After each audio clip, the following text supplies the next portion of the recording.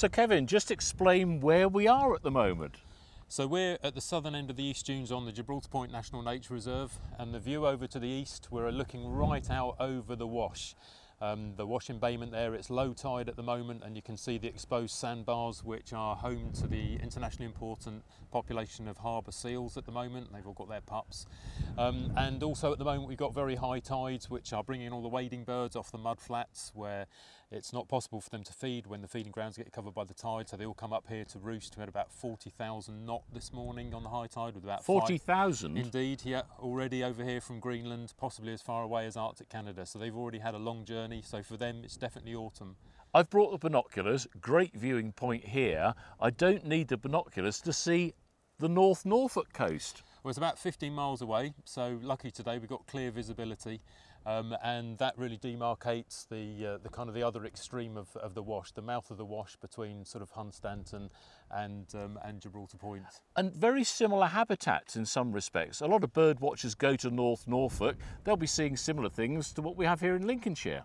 Absolutely, to some extent it's a mirror image. We've got sand dunes, um, internationally important sand dunes, and we've got salt marshes and, and mud flats, and indeed we share the uh, the wash with, with Norfolk, of course. Yeah, and the no. birds, the birds and the seals don't know boundaries.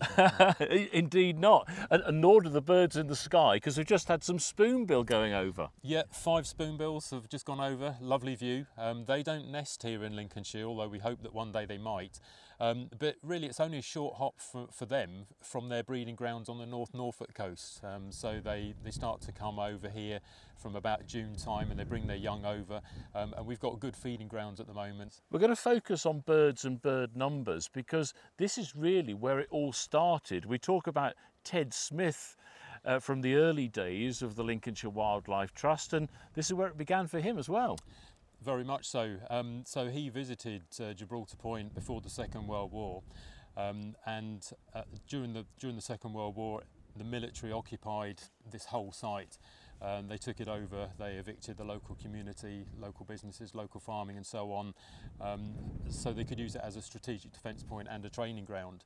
Um, fortunately, after the war, when Ted Smith came back, you know, he saw that largely um, it was uh, it was unspoilt, um, and the dunes and the salt marshes remained intact. And he quickly set about gathering uh, a, a cohort of like-minded people, such as Lenton Ottaway, one of his birding buddies at the time, um, and uh, very quickly set up the, the bird observatory, and that became operational uh, in 1949. And were they literally just counting the birds as they were flying or sort of landing in the shrubbery and those sorts of things, or were they catching birds as well? Well, a bit of both really, because Ted had sort of learnt the trade from um, from Skokholm Bird Observatory, where he'd done a bit of a recce and met Ronald Lockley, um, and so he was kind of conforming to the early protocols of what a bird observatory was all about. So primarily the study of migration um, and uh, you know recording breeding birds and, and so on. He was quite pleased to see the, the, the big colonies of breeding birds they have at, uh, at Skokholm, and indeed here we have our own little tern colony uh, out on the beach, the last remaining little terns in Lincolnshire now. Um, so an important colony there. But They're the ones that you, you watch at night, aren't they? Yes, exactly. Yeah, Yeah, yeah. 24 hour wardening scheme for, for them because they're so important. So they have a range of issues, a range of factors um, which can stop them producing young. Um, and uh, so we try and control those factors to a, a greater degree as much as possible. But that mu- much of that area is set aside for the breeding birds. Um, and then we have the sort of the visitor beach to the north. We're going to go into the observatory area in a moment, but I want to talk a bit about how the birds are actually caught. You know, when, when you're doing this monitoring, and there's a structure that's just to the side of us here, isn't there? Sure. Well, that's the that's the Heligoland trap. A what? A Heligoland trap. So named not a merry-go-round. although sometimes the ringers might think it is.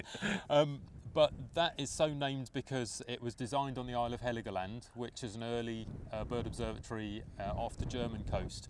Um, and it's basically like uh, a funnel shape uh, covered in netting that the uh, the bird bird ringers actually chivvy the birds into that through the scrub and then ultimately the birds are caught in a catching box and then they're taken over to the observatory building there where they're individually identified and measured and weighed uh, and so on and, then- and then they're ringed So like a funnel, like a duck decoy exactly type thing? exactly yeah? like a duck decoy yeah and is that right. still used now?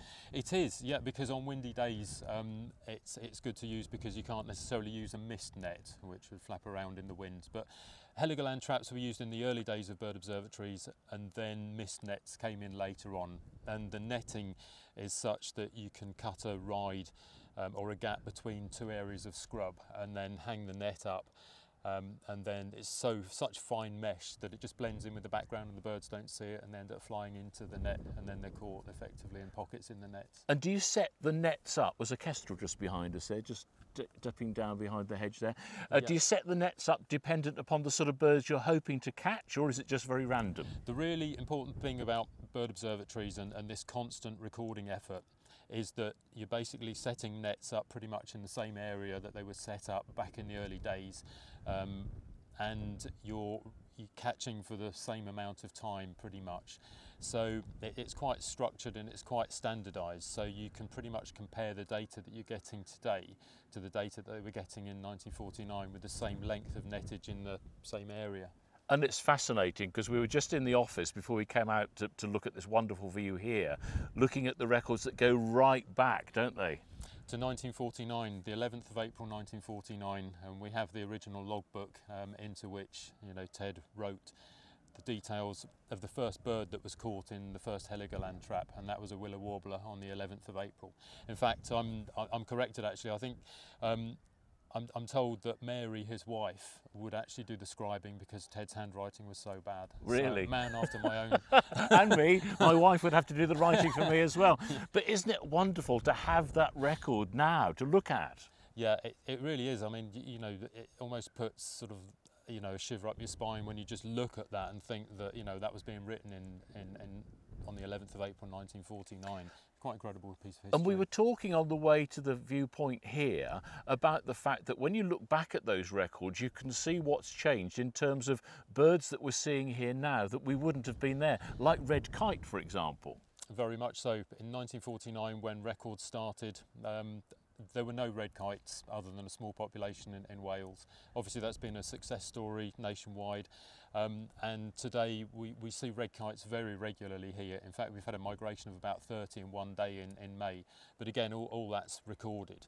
Um, but the, the other thing about, you know, whatever we're recording, it's as important to record the common birds and their population changes in respect of, you know, different factors that affect them, um, as well as, you know, seeing things that are like red kites or little egrets that might be newcomers um, you know, or indeed rarities. We've had one or two birds over from America and, and such like. Really interesting point because we always assume we will always have house sparrows and blackbirds.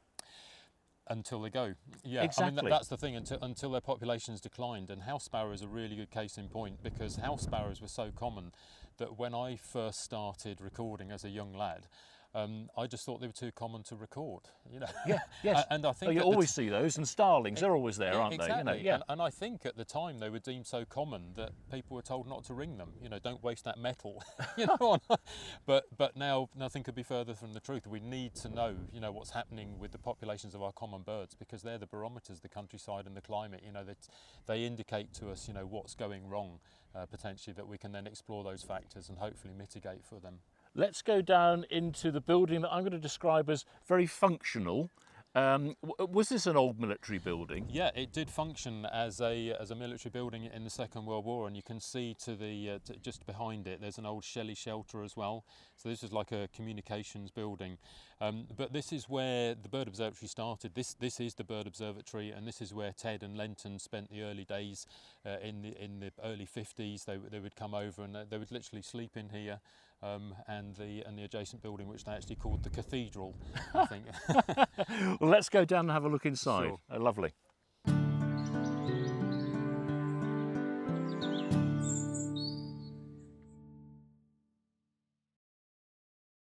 We've come into the observatory area here now, and this is where all the action takes place. But you've brought some records along, Kevin, including the very first records. Indeed. So this logbook here that we're looking at um, has actually got an entry from the 11th of April 1949. So this is the original logbook, the original um, handwriting, and and the first birds to be recorded at the observatory. So it says here the first swallows flew to the southwest at half seven in the evening. And, and then underneath willow warbler trapped in and ringed at 1945, so quarter to eight in the evening. Exactly. Um, so that was the first bird to ever be ringed at Gibraltar Point Bird Observatory.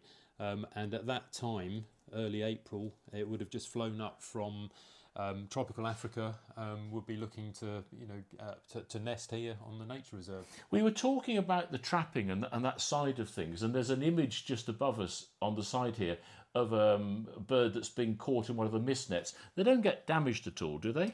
No, it's a very very fine net, and the thing is, the uh, the ringers who are who are trained um, and um, and licensed they actually have to check the nets on a very regular basis um, to make sure that birds aren't sort of well left hanging basically. Yeah, and the nets are actually behind us, aren't they? We're just having a look at the the containers here. That's where they are, ready to go out on the next check. Exactly. A bit windy today for ringing, yeah. but hopefully once we get this bad weather period out of the way, the next few days, then you know the, the ringers will resume.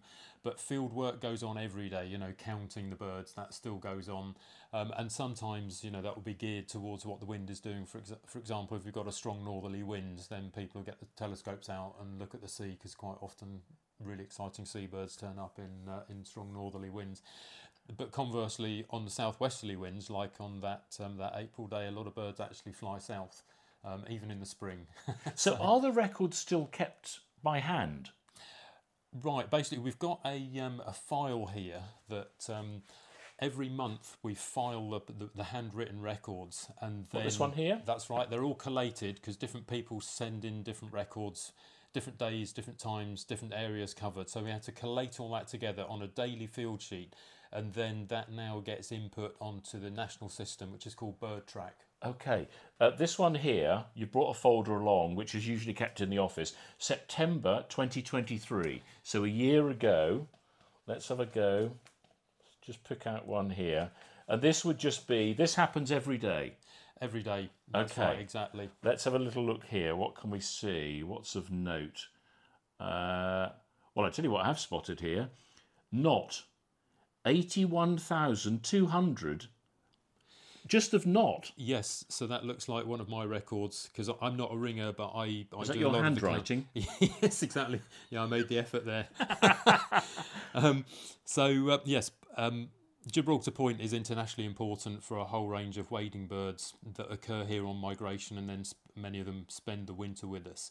Um, so September is really the peak month for a lot of these birds coming through the Arctic. Some of them might be on their way to the um, wintering grounds in West Africa or South Africa.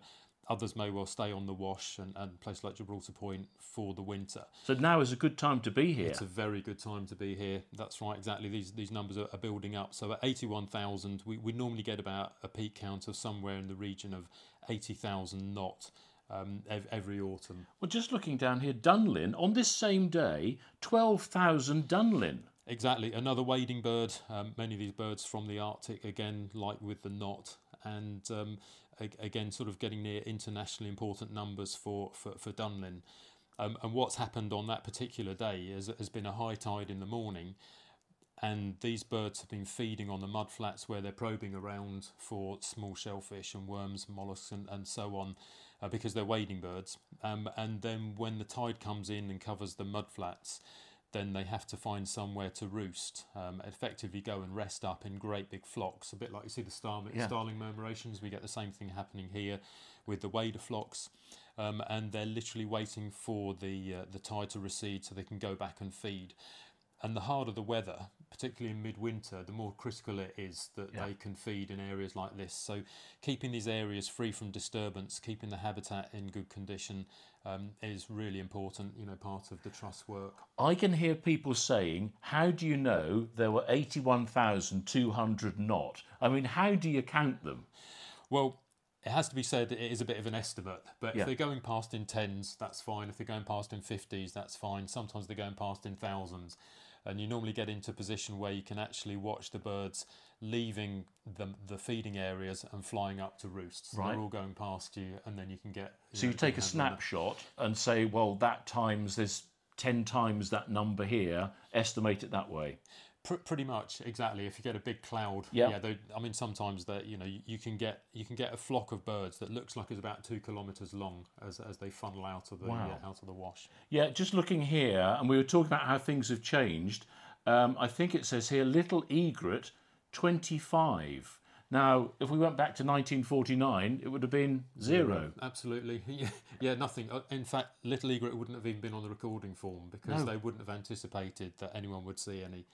Um, so, yeah, incredibly. incredibly Before we actually bird. came out onto the site here, there were several swallows flying over. So, again, is this one of the final points that they'll be on land before they head back?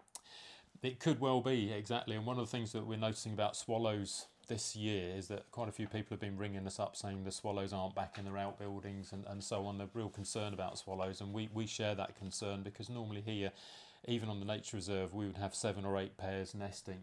And I think the spring was so awful this year, weather wise, that they arrived late.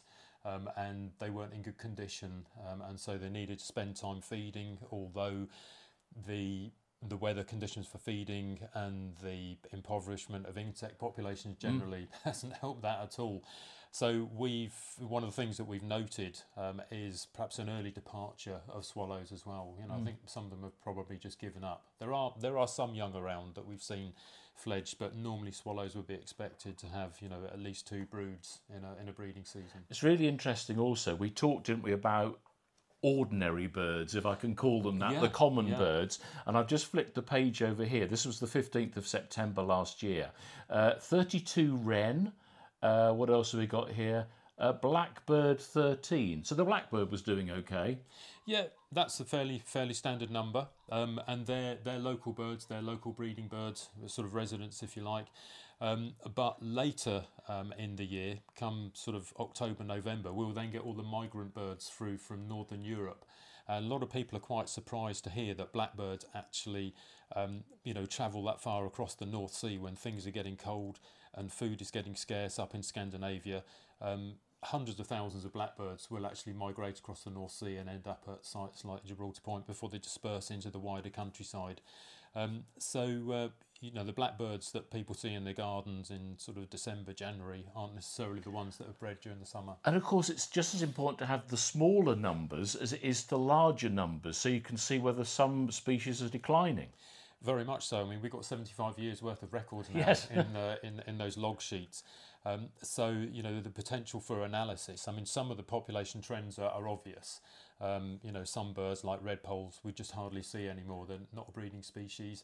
Um, you know, other birds like the little egrets that we've mentioned, red kites, and so on. But even in 1949, birds like peregrines and sparrowhawks they just weren't seen. You know, Yeah. they were at such low population levels that you know another positive has been really good to record their you know their, their recovery effectively and, and how common they are now. Uh, I've just spotted another biggie. Uh, meadow pipit, 10,200 on this one day. Yeah, I mean that that is a really good illustration of, of migration. I mean that is an exceptional count.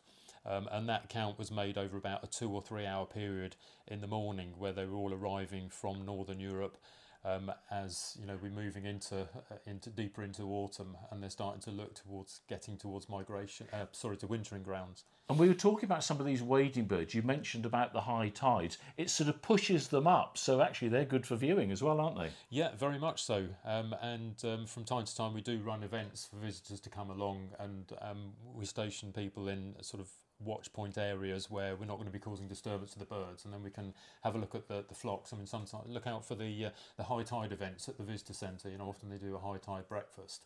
Um, and that's really good because you can have your breakfast and then you can watch the huge flocks of waders all going past the visitor centre. Go to the website to find out a bit more about that. Just looking at the table we've got here set out for us, this is the equipment that the ringers uh, will actually use then. Yes, so you can see a range of rings, um, all very lightweight rings. Um, so clearly, different birds have different size legs. Um, so there are different sizes. For example, you've got your, your small um, A rings there and double A rings, which will go on warblers and goldcrests and the like, through to C rings, which will go on the thrushes.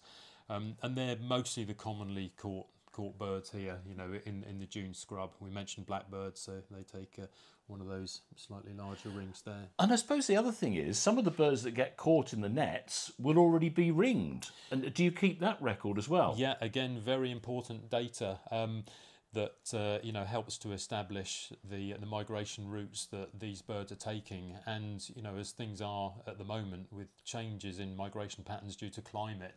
Um, then you know that's important that this range of 20 or so observatories around the UK are all pooling that information so we can learn from. But we're also doing a big project at the moment to try and look for sandwich terns, um, which are very um, common on the beach at the moment. Um, good numbers of those which have come from colonies elsewhere. They don't nest at Gibraltar Point, but mm. quite often um, the, sandwich terns will be ringed with a, a colour ring with a code on it. And so you get the colour and you get the code, and then we can find out where they've come from. And at the moment, we're, um, we're gathering quite a lot of information um, on those colour rings to determine not only where they've come from but also look at their migration. But it seems like even birds that are coming across from Holland might then take a sort of an anti clockwise migration route around the UK to hit the Atlantic coast and then migrate south to wintering grounds in places like Namibia. Um, rather than going down the eastern seaboard of the UK and through the English Channel. So mm. it's just a theory at the moment. Yeah. It's something that, again, ringing is, is helping us to understand. As much as I'd love to stay in the observatory here with all of the uh, spiders, let's move on to somewhere else because this is an old building here. We talked about the military background. We're going to go just across the way to somewhere where something quite modern is happening in bird tracking. So we're going to have a look at the MOTUS tracking, um, and, and, that is using modern technology, using radio telemetry tags um, to actually try and pinpoint birds' movements. So that, that's something that just started a few years ago.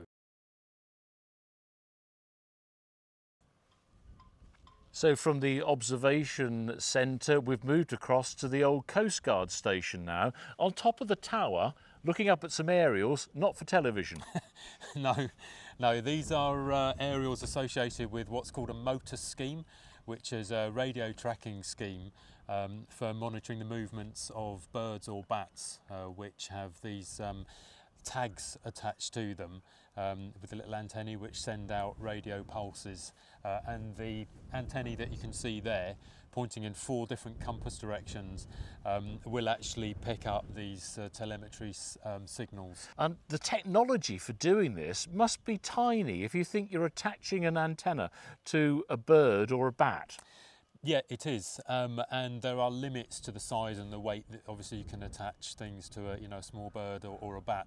Um, but the technology is such now that in the States they've actually been able to do radio tracking technology on bumblebees um, and hang on uh, an antenna on a bumblebee? Yes indeed was and, and and butterflies tracking the monarchs as they migrate through down to Mexico uh, and even larger dragonflies as well. So the potential is uh, is quite enormous. And we could be at the forefront of it here at Gibraltar Point Skegness. We're certainly aiming to be part of a larger network certainly around the Wash or the eastern seaboard of the UK and then connecting to the established MOTUS um, network in on, along the North Sea coast as well, sort of in uh, Holland, the Dutch coast, uh, and German coast as well. So, Kevin, thank you ever so much for showing us around. Uh, a fitting end, we've got a fly past by a pair of spoonbills at the minute. Yeah, absolutely lovely. Yeah, there's so much going on at the moment, and we've got swallows drifting south over the salt marsh, a couple of stonechats and a whinchat. Lots of migration happening at the moment here at Gibraltar Point. What a place to work. Yeah, it's lovely.